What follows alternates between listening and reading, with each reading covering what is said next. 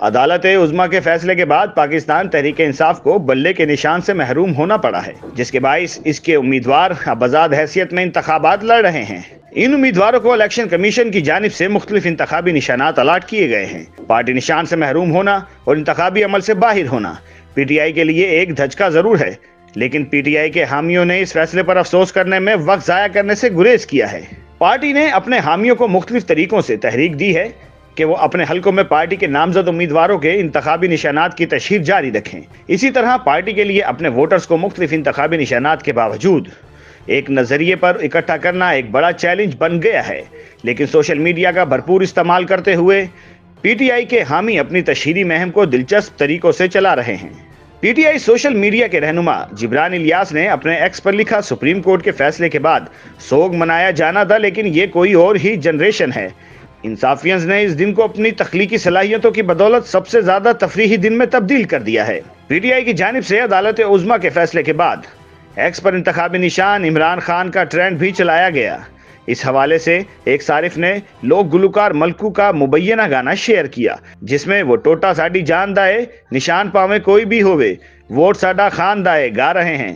سابق سپیکر قومی اسمبلی و رہنما پی ٹی آئی اسد کیسر نے ایک پرانی ویڈیو پوسٹ کرتے ہوئے لکھا، انتخابی نشان ویل چیئر۔ اس ویڈیو میں انہیں ویل چیئر تقسیم کرتے ہوئے اور ویل چیئر پر بیٹھے افراد سے ملتے ہوئے دکھایا گیا ہے۔ ایک صارف نے اپنے ہلکے این اے فورٹی سکس سے پارٹی کے نامزد امیدوار، عامر مسعود مغل کے انتخابی نشان بینگن کی تشہیر کرتے ہوئے ایک گانا شیئر کیا، جس کے بول کچھ یوں ہیں، میں ہوں بینگن تازہ، میں ہوں صدیوں کا راجہ چاہے بنا لو بھرتا میرا، چاہے بنا لو بینگن باجا۔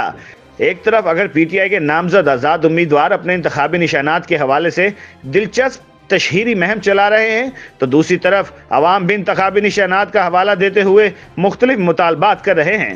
اسی ویڈیو پر تبصرہ کرتے ہوئے ایک صارف نے لکھا، جب جیت جائے تو تھالی کا بینگن نہ بن جانا یعنی غیر مستقل مزاجی نہ اختیار کر لینا۔ سوشل میڈیا پر صارف نے لکھا کہ اب بینگن کی خریداری میں اضافہ ہوگا۔ ہر شخص ایک بینگن خریدے اور اپنے گھر کے باہر لٹکائے اور بینگن کو ووٹ دیں۔ کئی امیدواروں کو چارپائی بھی بطور انتخاب نشان الاٹ کی گئی ہے۔ اس حوالے سے کئی ویڈیوز اور دلچسپ نعرے بھی زیر گردش ہیں۔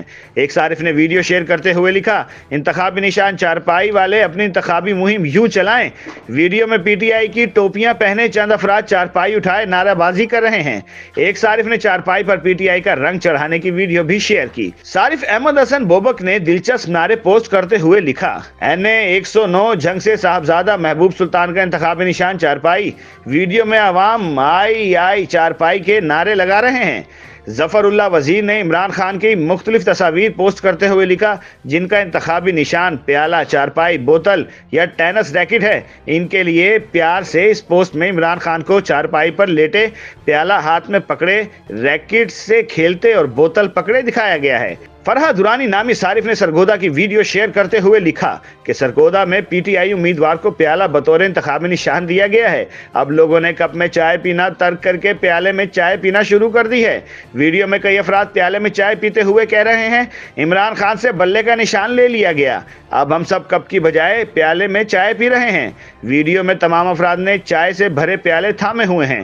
مبصرین کے مطابق یہ پہلا موقع ہے جب پاکستان میں عام انتخابات کے دوران آزاد امیدوار اپنے انتخابی نشانات کی اس قدر دلچسپ انداز میں تشہیر کر رہے ہیں، اس سے قبل آزاد امیدوار اپنے متعلقہ حلقے میں روایتی انداز میں تشہیر کرتے رہے ہیں۔ تاہم، اس بار ایک بڑی سیاسی جماعت کے انتخابی عمل سے باہر ہونے کے بعد ملک گیر تشہیر جاری ہے۔ یوٹیوب پر گوگلی نیوز دیکھنے کے لیے یوٹیوب ڈاٹ کام کی سرچ بار میں گوگلی نیوز ٹی وی ٹائپ کریں۔ گوگلی نیوز کے پیج پر سرخ رنگ کے سبسکرپشن والے بٹن پر کلک کرنا نہ بھولیے۔ یوٹیوب پیج پر اپلوڈ ہونے والی ویڈیوز سے باخبر رہنے کے لیے بیل آئکن پر کلک کیجیے۔ آپ کو ہر نئی ویڈیو کے بارے میں نوٹیفیکیشن موصول ہو جائے گا۔